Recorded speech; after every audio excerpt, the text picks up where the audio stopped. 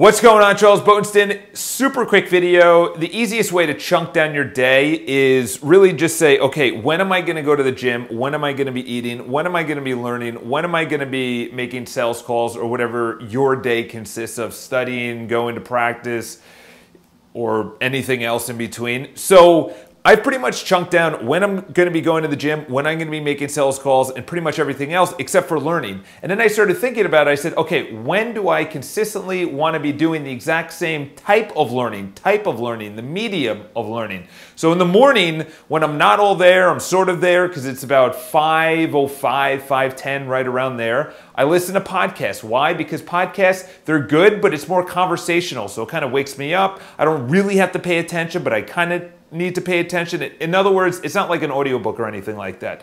Then when I'm actually on a train and I, I have time to, on the train, I don't actually, and by train I mean subway, or for you guys it could be the bus or anything else. So your commute to work or anything else or appointments, you should have a medium there.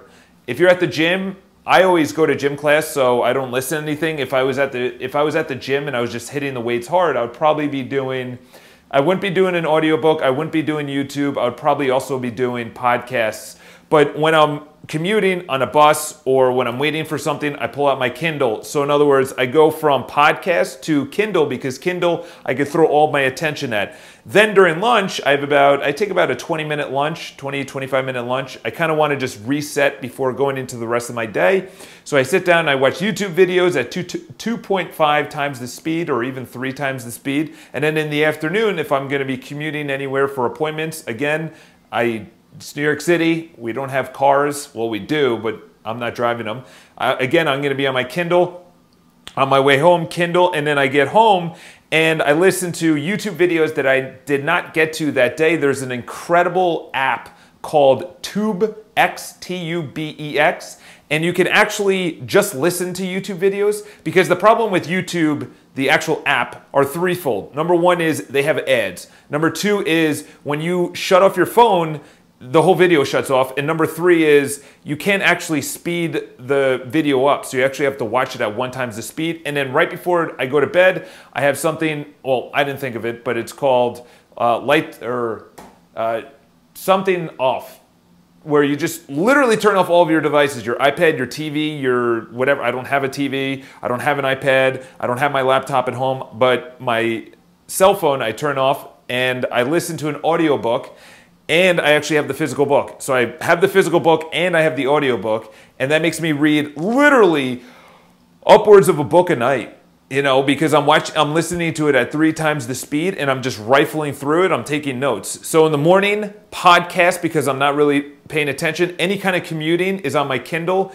And then YouTube videos during lunch, YouTube videos when I come home and I'm getting ready for that night, or I'm sorry, the next day, anything that I didn't cover during that day. And then the, the last is, so I'm like literally hitting all the mediums. And then the last is obviously audiobooks. And then I watch, I have it on a physical book. I have my blue blocking glasses.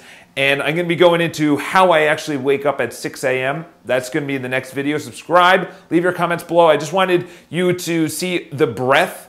The, the entire bottom row of my iPhone is just learning devices. You know, I've, I've downloaded YouTube, uh, in audio form, and then I've opened it on an app called MP3 Player.